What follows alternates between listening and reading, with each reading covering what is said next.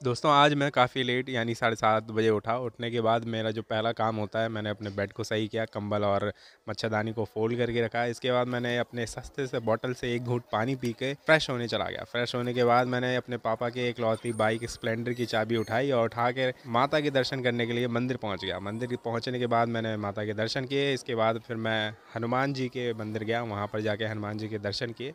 इसके बाद मैं घर आया, घर आके मैंने नाश्ता किया। नाश्ता करने के बाद मैंने अपने नए घर की चाबी ली। चाबी लेके मैं पहुँच गया नए घर पे और वहाँ जाके देखा तो वहाँ पे पहले से ही पुट्टी वाले भैया आ गए थे और अपना काम ज़ोर शोर से कर रहे थे। चैनल पर पहली बार आए हैं तो वीडियो को लाइक और चैनल को सब्सक्राइब ज़रूर करें।